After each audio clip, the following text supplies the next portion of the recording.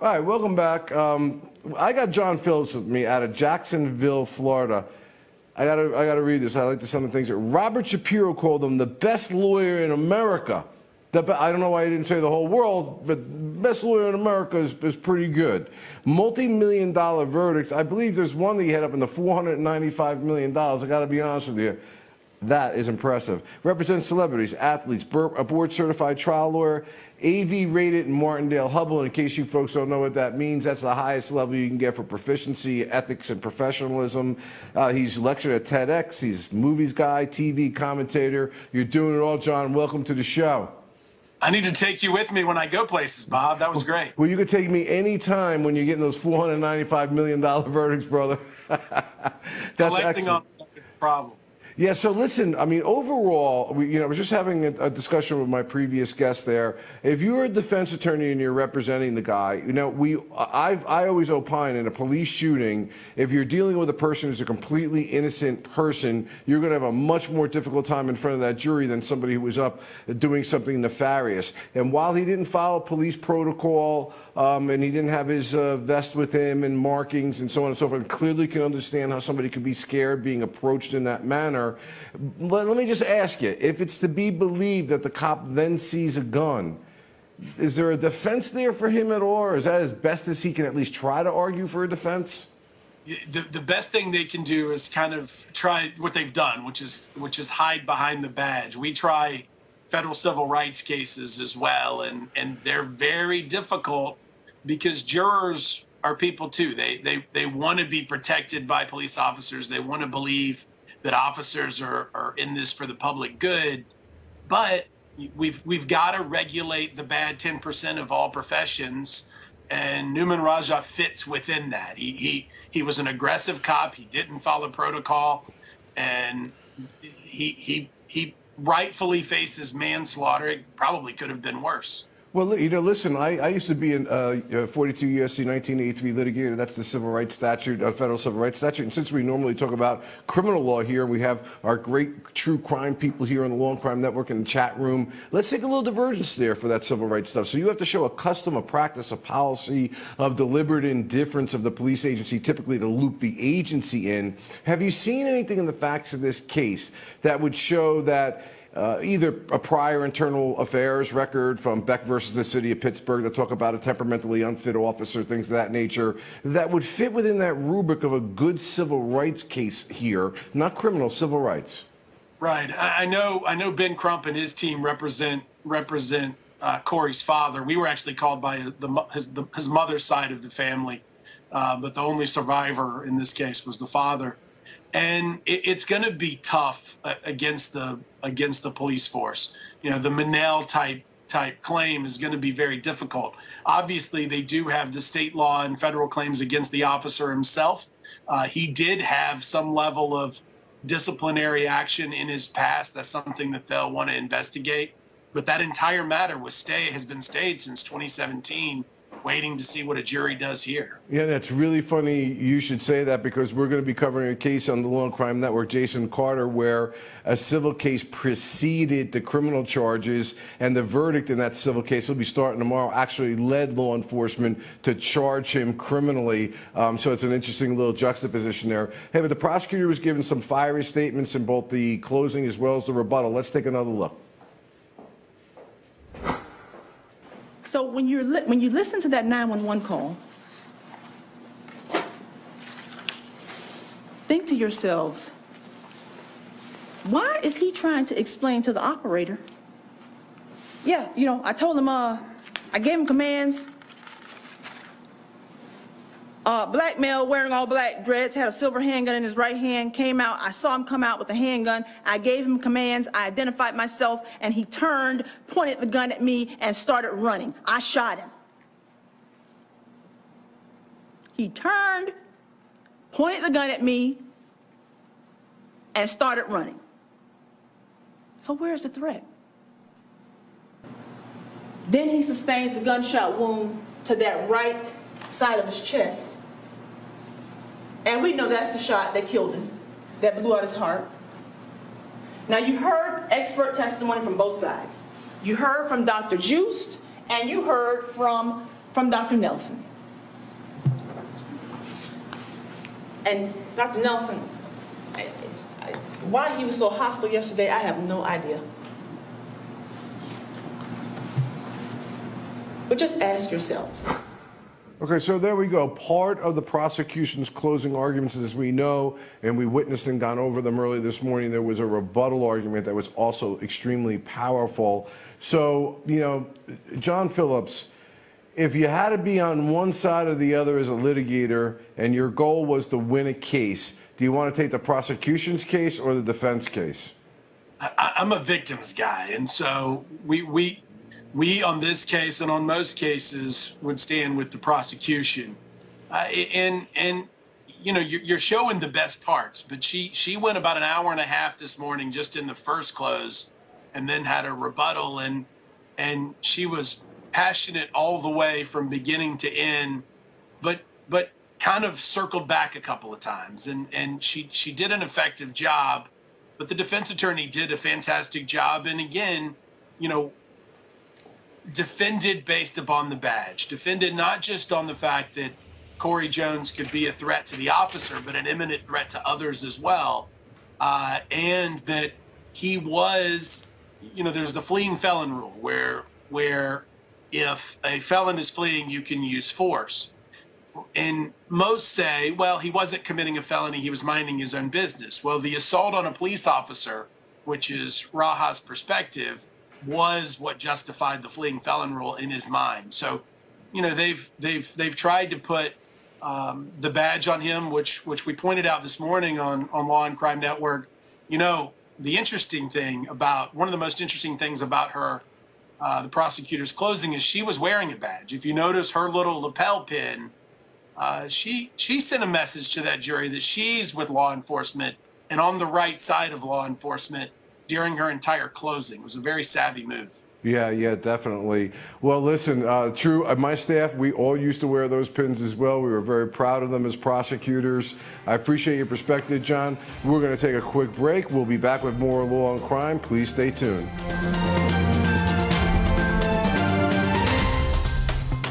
All right, welcome back. That's the defense summation, arguing about why there may be inconsistencies in Rogers' report because of tunnel vision and perception distortion.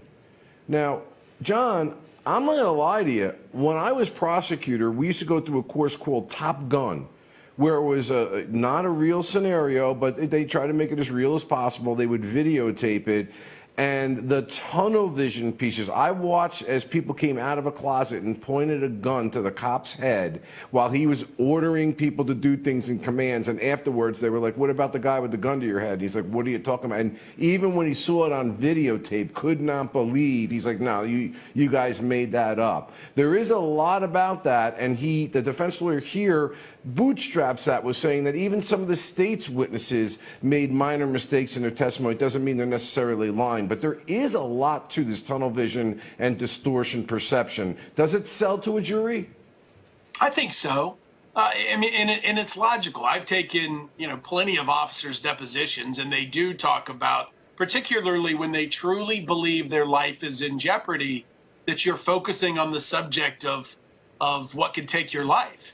Uh, and, and, so it, it does make sense. But also, officers generally talk about how time slows down during these instances, and so you've you've got to reconcile both facts with the inconsistent statements, with the inconsistent evidence, where where the gun was found, and a jury's got to figure all of that out, which is going to take some time. I imagine they're going to go back through uh, Nouman's Nouman's recorded interview as well. Yeah, I, I, I, investigated one as the county prosecutor where the cop's version of what happened after the incident uh, was so completely different than what the motor vehicle recording and body cams were picking up. Actually, the motor vehicle recordings and body cams completely exonerated the police officer. But the fact was, you could tell when he was giving his statement, he was kind of making things up. He couldn't. And again, if you had saw this video, it was one of the most. It was nationally brought across the entire country. It was almost an impossible split-second thing that was going on.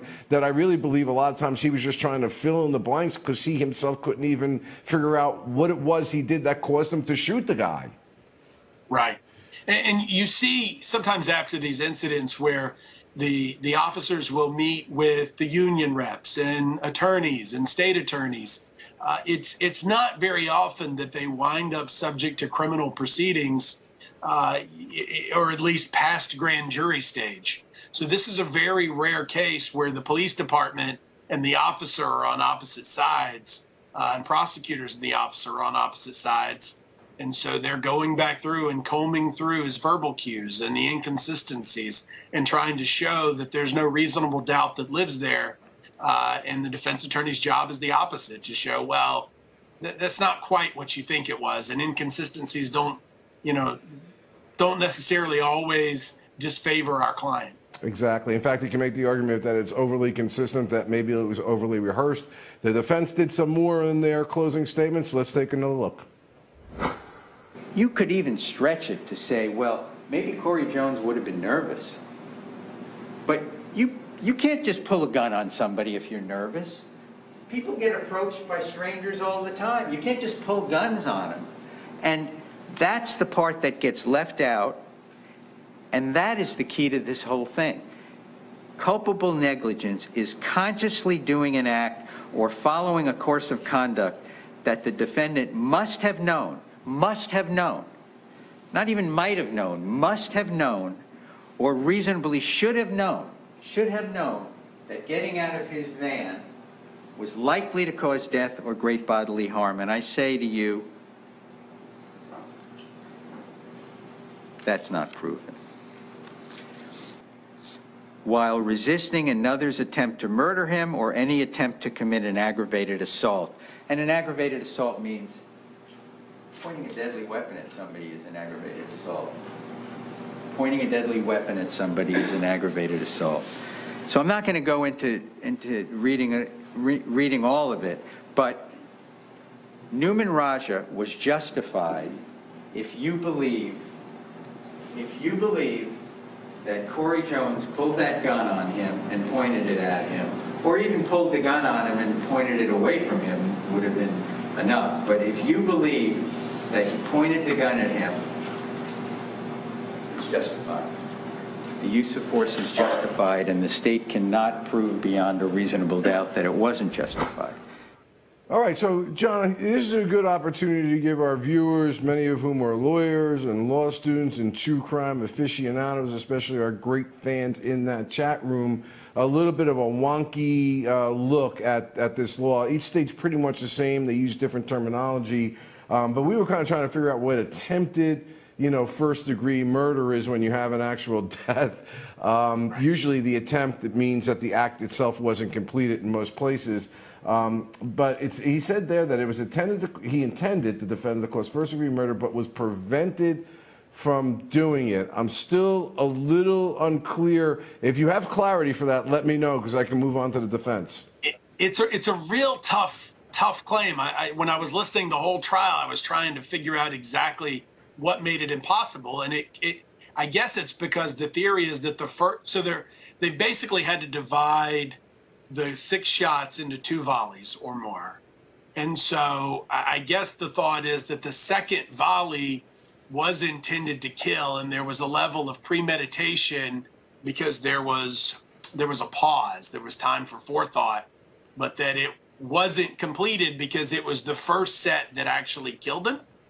Um, is is the best way I can piece that together because it would either be murder or not murder uh, if he intended to fire shots, but it's attempted murder based upon it not occurring.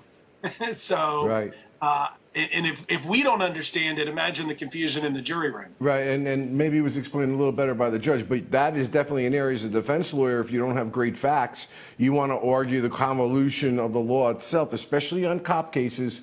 And I want to go to the defense of self defense, just so that the folks understand. That's what they call an affirmative defense, John. And once you assert that, because the defendant doesn't have to prove anything or prove their innocence, the state, he was making a big point, has to disprove essentially self defense beyond a reasonable doubt. And what his argument was was that him getting out of that vehicle was not something that was intended to cause serious bodily injury. However, when the gun was out, it was necessary for him to self-defend himself in order to prevent death or serious bodily injury. John, unfortunately, I'd love to get your answer to that. I think I'm generally right about that law, but we got to take a quick break. We'll be right back.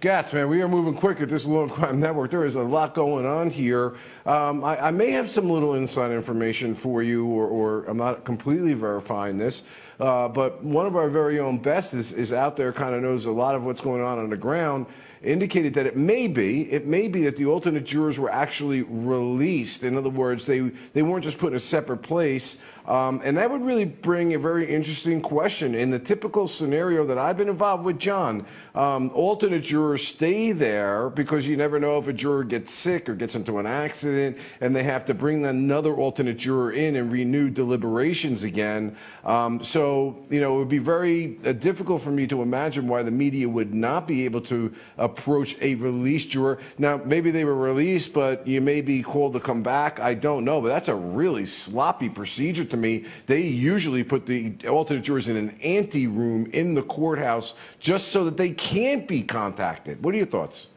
Florida state court's different. Uh, mm-hmm. This is where I, I make my living. And once you get to a point, so it's 12 in a capital case, it's six in just about every other case. So this was six with four alternates. Once it becomes time to deliberate in Florida, the alternates go. They don't ever come back. They are released. So you have to deliberate with six.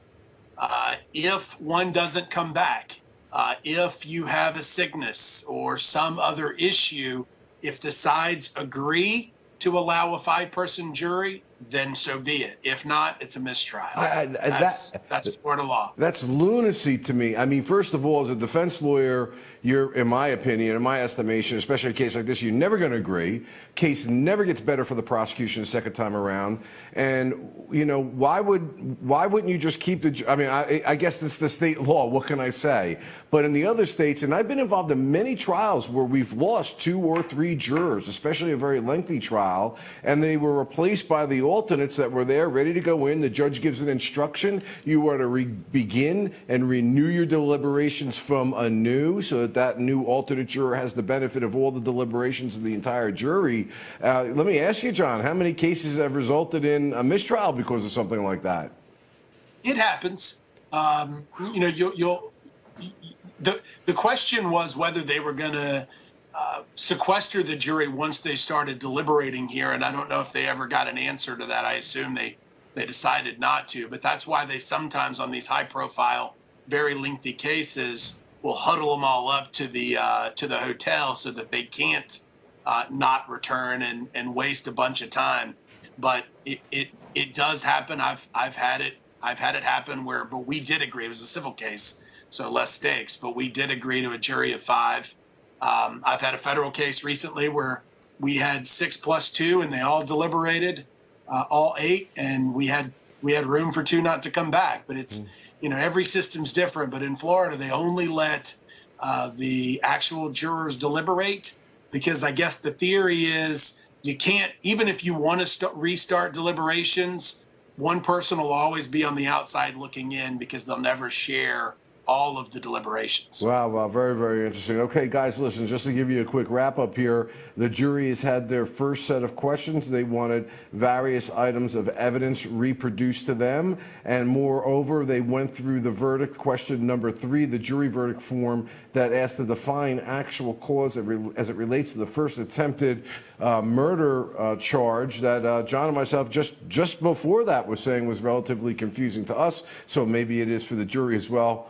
Ooh, it's getting fascinating here at the Law and Crime Network. Stick with us. I'll be with you here to 3 o'clock. We're going to take a break. We'll be right back.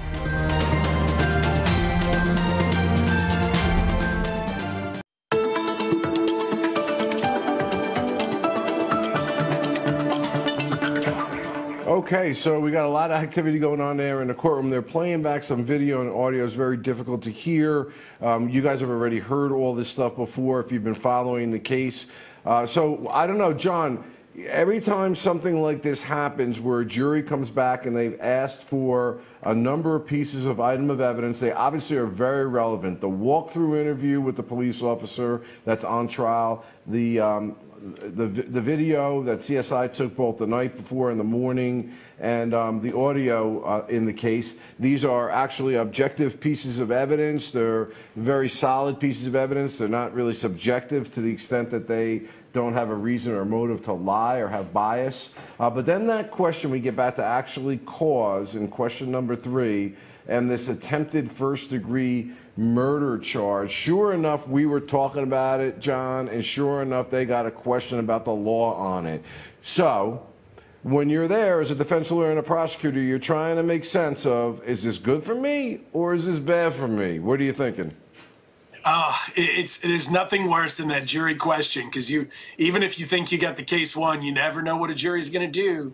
And the the the good thing is for for the three pieces of evidence, the prosecutor specifically asked them uh, and and charged them with an obligation to listen back and listen to the inconsistencies within uh, Raja's statement. Uh, so so that's not crazily a surprise, but then you kind of have the, the the the jury question, which again we if we're if we're stumped about it, I imagine this jury is uh, what you know what does actual cause mean, and and the judge can't go redefine everything. They've just got to try to say, look, you've got the jury instructions in Florida. Generally, they can take the jury instructions back with them, and you got to you got to apply the instructions and, and figure out the facts. Yeah, I think this is a really important point to tell our viewers. These jury instructions that the judge gives on the law, which can be very odious, um, are usually uh, prepared by Supreme Court committees of lawyers and judges, and the judges are told pretty much do not go off script with these jury instructions or you could cause reversible error. So it's been my experience that the judges, if you say, well, this case is a little bit different, Judge, they do not want to tweak those jury instructions at all. And like you said, a lot of times we, I've laughed. I've sat there and I've listened to the jury instructions for many, many years. And I say to myself, how the heck are regular folks that have never sat on a jury supposed to understand it? And usually, John, they're defining things by using the word just what you're told not to do in school. To have knowledge means to know, to be with knowledge, to stick with knowledge. And so when you're getting into attempt uh, and all these different kind of sophisticated laws and a jury comes back and they want to know what does it mean, the judge is really constrained to explain it because they're concerned about creating reversible errors. Same in Florida? It is. Imagine if we had to play Monopoly or chess, but we got the instructions at the end of the game, and and uh, you know it's it's real complex of what we ask uh, jurors to do, but but they've they've they've heard all the facts. Now they got to apply facts to the law, and and I really think on the manslaughter charge, once they rehear the statement and some of the other evidence, they're going to be able to work their way through it. Now whether they can agree six nothing is the question. But I'm I'm still stumped on on what they do with with attempted first degree murder because you've got to divide this act into two parts. Right. Um, and, and, it's it's a real tough ask. And, and, and we know as prosecutors, or I could tell you certainly one as a homicide prosecutor myself, I do not want there to be confusion as to what the law is. I certainly don't want there to be confusion as to what the facts are, because when you get confusion, that's what we start. We feel at least starts pushing people towards the idea of reasonable doubt. I got two questions for you on top of that. One of which is also that this is a police officer. Police officer cases are difficult to prosecute, and while he may not have filed protocol or whatever, um, you know, you want to make sure the jury has no confusion when you're asking them to pull the trigger, no pun intended, on a police officer. And my second question to you, if you want to comment on that, is: Is it easier for the prosecution to convict with six as opposed to twelve? I think it is. You know, getting 12 people to agree on a dinner reservation is sometimes um, difficult. Six, uh, we we've had we do criminal defense. We do you know, my main thing is personal injury, wrongful death, and civil rights. But we do both sides of it as well. Um, you know, you only see 12 in Florida in capital sex crimes and capital murder. Uh, this is obviously neither. So, you know, from that end, it, it should be easier to reach a consensus again, this is this is different than what we saw, for instance, with Trayvon or, or Jordan Davis, which is the case we handled, where where you were really focused, the prosecutors were really focused on murder. Um, here they were building their case up from manslaughter, which I don't even think John Guy mentioned the word manslaughter in Trayvon uh, in the George Zimmerman uh, prosecution. So, Um, so yeah, I was going to say, in Florida, do uh, does the defense bar often gyrate um, furiously about the idea that they should be raised to 12 as opposed to six? uh, every once in a while you'll see a defense bar motion that that seeks to you know reestablish the the original constitutional intent uh, of a jury of 12 and every time that that motion's generally denied um, you just we're we're we're a six six person state you go right up north and Georgia's 12 for just about everything you know every state's a little different so And, we're I, just and I, I think since we agree that it's easier to hang one of 12 jurors, I mean, in other words, it makes a prosecution job. I should say, when I had to prove a case beyond a reasonable doubt to 12 people is not an easy thing. To me, it's an easier thing to prove a case beyond a reasonable doubt to six people. I'm just curious, of being a civil rights litigator and all your background, ours are very, very similar to one another. Um, you go to Georgia and defendants get a better opportunity, if you will, at trial than in Florida for the same exact crime. Somebody may be convicted and somebody may not. Simply on that fact alone, it just seems a little un- unjust to me in some ways. It does, it, you know, but it's it ultimately comes down to the old states' rights issues. You know, each state is different, and, in federal court, for instance, the the, the you've got to convince the alternate. Sometimes uh, we deliberated, had a jury deliberate last year, and we had a jury of eight, six plus two, but all eight had to reach the verdict. And so, you know, even within federal court, within our state of Florida, there's there's a difference there. And, and I've been asking all of our guests today because some of these jury issues fascinate me, and I know they have with the chatters that go on our long crime uh, chat room. Do you feel, have you been experiencing in your own career where alternates, well, ours stay there, so I, I don't know if you'd have the same experience. Afterwards, the verdict comes back, and, and the alternates are in shock they, they were they were believing that the jury was going to go a completely different way, but the jury came back completely different than the alternates. And I've had this experience over and over and over again, and I I always felt it came down to the idea that the deliberative process, with all of them working together, can really affect the individual feelings when they go in there as just individuals as opposed to a collective unit. Absolutely. What happens once they start deliberating? It becomes, you know, a group think and a group environment, and so the the ones on the outside weren't a part of that. And, and but on the same token, the reason these these four alternates were chased down is because media uh, wants some insight into what were you thinking? Right. Uh, because if they can broadcast what you know what that person was thinking, it, it you know the it, it extrapolates that the others might be thinking the same thing but in your experiences you know m- mine's just like it that you can't always decide a case based upon what the alternate thinks quite quite the opposite Well, I'm going to go on a limb here, John, and I'm going to ask you first, though. Uh, there's the high charge, there's lesser included offenses, um, and there's obviously a not guilty or a mistrial in the case. What do you think's happened in this case? Compromise verdict, maybe? No, I, I, I, I think they're going to convict on manslaughter. I, I truly do. I, I think it was the right charge. I said the same thing in Zimmerman's case. Um, I, you know, it's it, they're, they're they're very different cases, but there's a similar thread.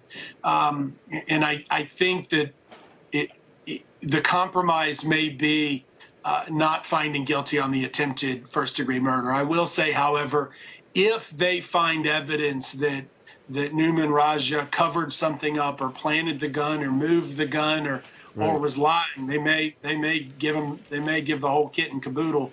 But I have a feeling it's it's guilty on manslaughter and and not guilty or hung on uh, attempted first degree murder. John Phillips, you've done an awesome job. I greatly appreciate it. My time here is done. It's been a pleasure being with you, but we still got more law crime. Stay tuned.